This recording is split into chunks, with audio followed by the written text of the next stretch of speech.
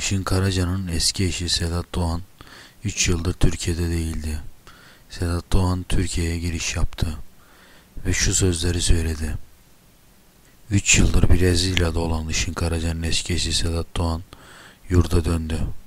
Doğan, kızım Mia için geldim dedi. Lütfen size görüşlerinizi yorum kısmında belirtmeyi unutmayın. Kanala abone olursanız şimdiden teşekkürler.